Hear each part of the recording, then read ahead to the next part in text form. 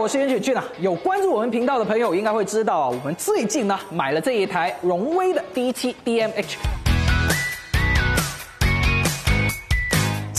主打长续航的插混家用轿车，文业界对于这台荣威 D 七有一个评价：BBA 说的是 B 级车的体验，B 级车的品质，卖的是 A 级车的价钱。所以尺寸越级呢，会是这一台车很重要的一个优势。这一次呢，公司交给了我一个任务，就是对于这台车做一个阶段性的总结。我说，我是觉得呢，这车我们虽然买了回来，有做了不少的内容，但就是这些内容都很零碎。如果你想要我有更加系统化的一个用车感受的输出，不如这样，低点进。费给我，然后给我来一场自驾游，你觉得怎么样？你猜怎么着？支付宝到账五千元，钱到位，出发，你有病。这一次的自驾游来说呢，很重要的当然就是这一个后备箱的载物空间了。首先你留意到它的纵深非常的不错，而且作为一台插电式混合动力的轿车呢，它并没有因为增加了这一个电池包的容量而入侵了这一个后备箱的空间的。像是这样的一个行李箱呢，你甚至可以这样打竖的放进去。之前我们的同事试过，这一个后备箱是足足可以容纳像六个这么大的一个行李箱的，所以对于这一次我们的出行，仅仅只有三个人的行李来说，这台荣威的 D7 根本都算不上是考验。自驾游永远要做的第一件事情呢，就是要把这个油箱给灌满。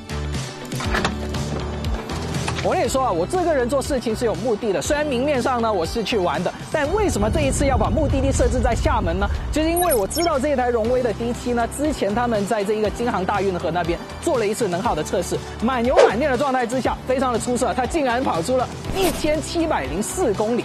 那这一次呢，我们从广州出发到厦门，大概来回呢，应该是一千四百公里左右。所以我们现在就验证一下，到底满油满电的这一台荣威的 D7，它能不能把这一层给拿下？电呢是百分之九十一，不是完全满的状态。它现在显示我的综合续航是一千零六十二公里，但我相信应该跑出来的实际会比这个更多。出发，拜拜广州。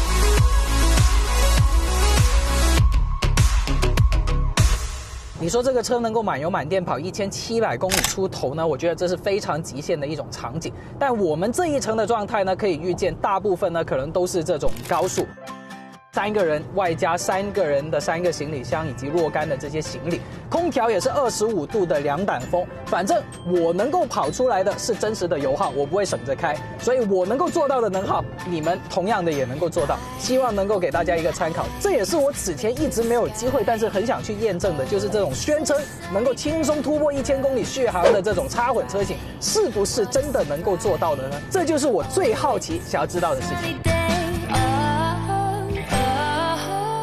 自从我上了高速之后呢，我就打开了它的 L2 级别的驾驶辅助。它的这一套驾驶辅助的系统，可以让我很信赖它的，把这种对于车辆的操控权力呢，尽可能的交给它来操作。在弯道里面，这个方向盘丝滑的转向上面的控制，开了两个多小时的车，我是一点都不累的。对于自驾游来说，真的是非常非常的关键，太香了。我现在已经跑了接近两个小时吧，差不多一百五十公里了。剩余的这一个续航呢，不降反增，现在一千一百公里。哎，我觉得我又行了，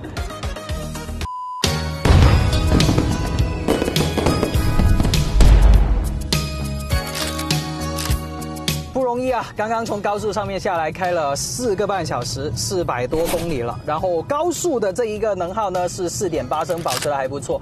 现在已经是八点半了，我们到了汕头，时间是刚刚好的。先带大家去吃一个潮汕叶粥，睇下我边只大大家咧，应该食三只牛都冇乜问题。走啊！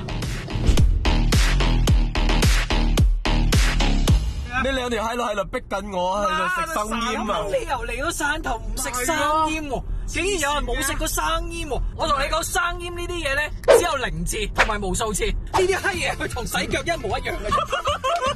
今晚立 f l 了，我一定要让这一个摄像感受到生烟的魅力。准备跑了呀？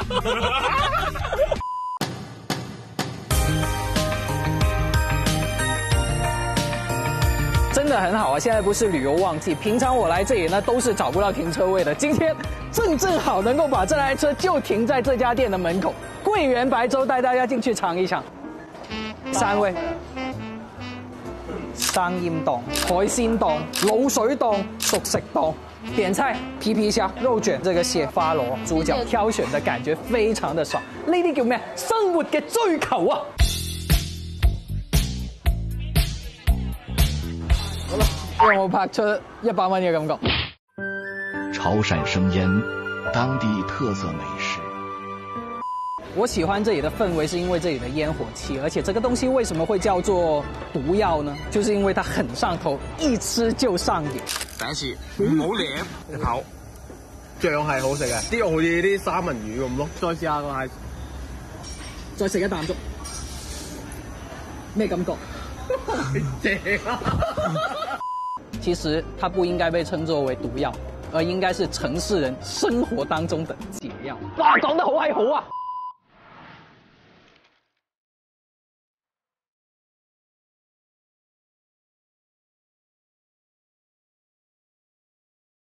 睡了一觉了，我过来汕头小公园这边去逛一逛，这边有很多老的建筑，这种感觉会特别的舒服。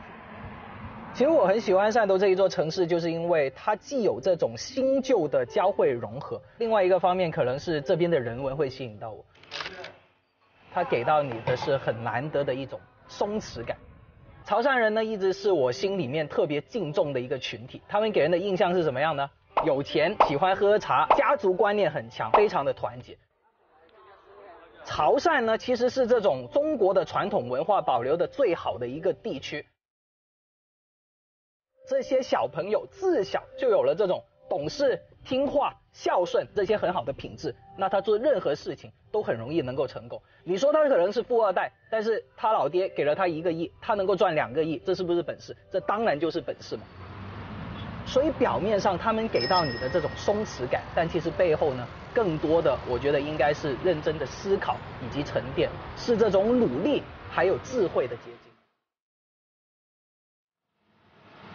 我哋去搭下咪好唔好？走啊，去边度搞啊？好，出发去厦门。你好，班吗？来了，来了。打开主驾车窗，空调调到二十五度，导航到厦门大学，播放陈奕迅的歌。第几个？第一个。我哋仲会翻嚟噶，我仲翻嚟噶嘛？食多餐牛肉火锅。哇！我仔犀利，我同你讲，上次佢嗰个姐姐问佢你几岁啊？四岁。嗰个姐姐话四岁啊？你咁样？你话四岁？你摆个手指出。嚟。哦，四岁啊！跟住佢咁样。哇你有 big。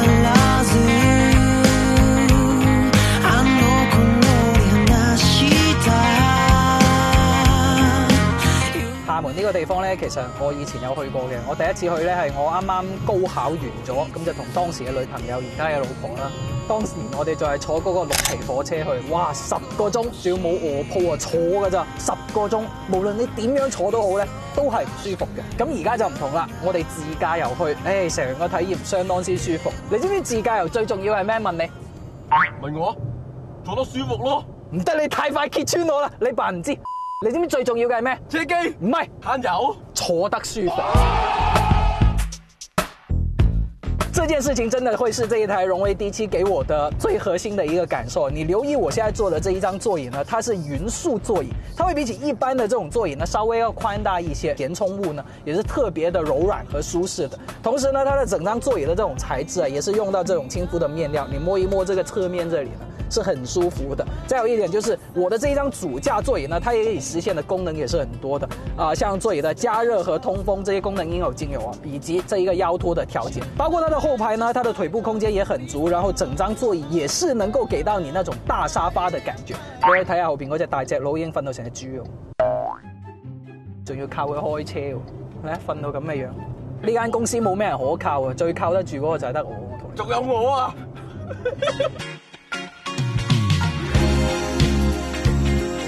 给大家汇报一下此时此刻车辆的状态吧。我们是跑了五百六十一公里，然后现在显示呢，我们的续航还可以跑七百三十一公里。所以如果这么折算一下的话呢，超过一千二百公里是问题不大的。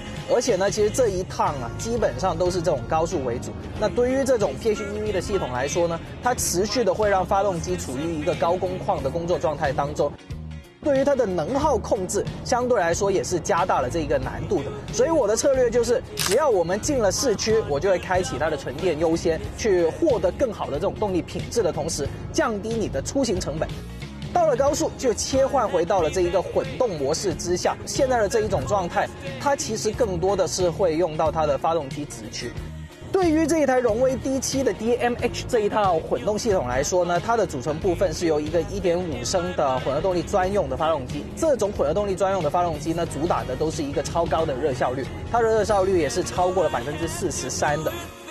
同时，它的这一个电池呢，也有着二十一点四度电，满足可以达到一百二十五公里的这一个纯电的续航。还有一点就是它的电池回充速度是蛮快的，因为我们上高速的时候呢，它的纯电续航只剩下四十一公里，我们就跑了半个小时，现在已经回到了七十六公里的状态。所以，当我们到了厦门市区的时候呢，我就又可以重新的有足够的电量支持我在市区里面用纯电的控制。在这种高速的状态之下，它也依然能够保持着油耗四点。提升的一个水准。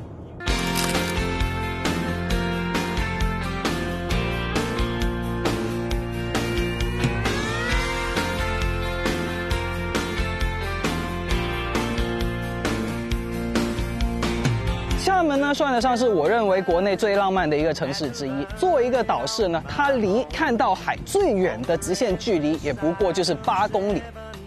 在这一个地方，你是能够感觉到那种属于海滨城市独有的那一种惬意。虽然这个地方呢，也有很多很热门的，像是鼓浪屿啊、曾厝垵的这一种热门的景点。但其实论我个人来说呢，我觉得来到这个地方，唯一做的一件事情，就是来到这条海滨公路上面去散一散步，然后找到一家你喜欢的咖啡厅，在那里点上一杯拿铁，就这样看着这一个海发发呆。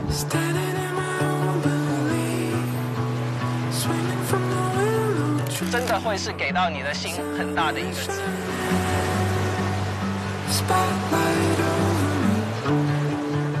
OK，那我们现在换一个地方，进去厦门的老城区里面，再去逛一逛。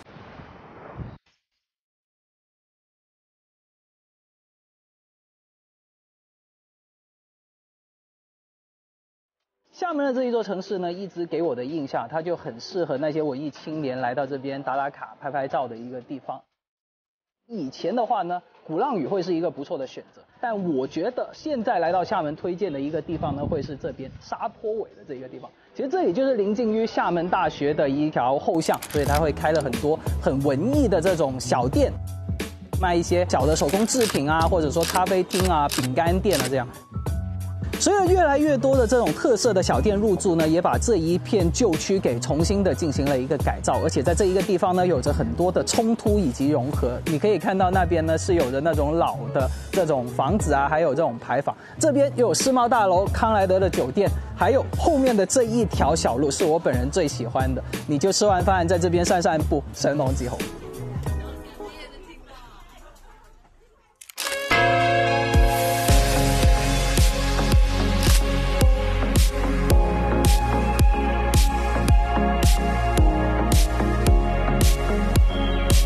接下来就即将是我们本次旅途的一个重要的见证时刻了，因为我们这一趟旅途的公里数呢，即将要突破。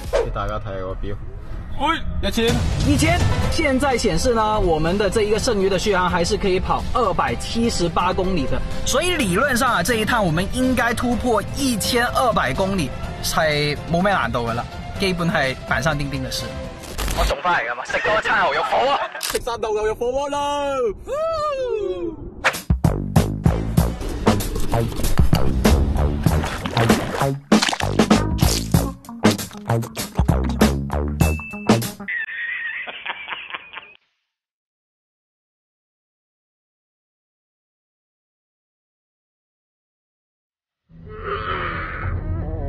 想唔想揸摩托车上过？我希望揸嗰啲三百零蚊就可以行一千二百公里，并且可以有自动驾驶，唔使自己揸。张凳仲有呢个云缩座椅，可以坐得好舒服。坐攰咗，我仲可以去后边一键躺赢。问你呢啲车有冇得输？俾我讲得好正，资助妈妈打的。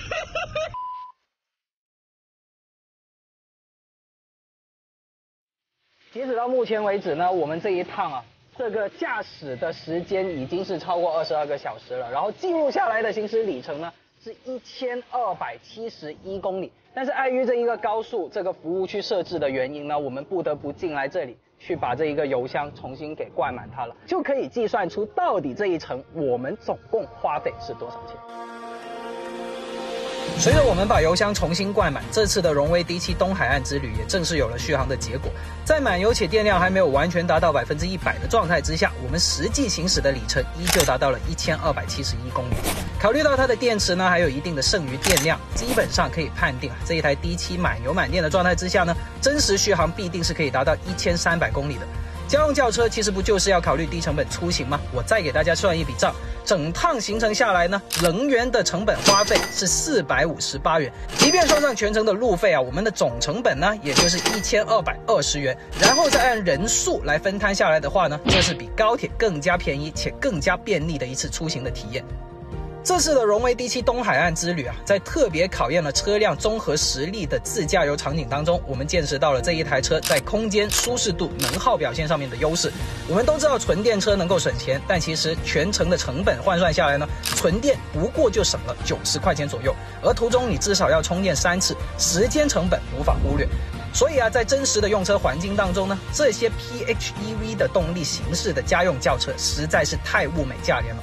恰逢今年十万左右的插混家轿扎堆亮相，并且呢，据我了解，现在的荣威 D7 DMH 在销售政策上面呢，也有很给力的购车方案，所以想要选购一台长续航的混动 B 级家轿的朋友呢，真的可以认真的去了解一下。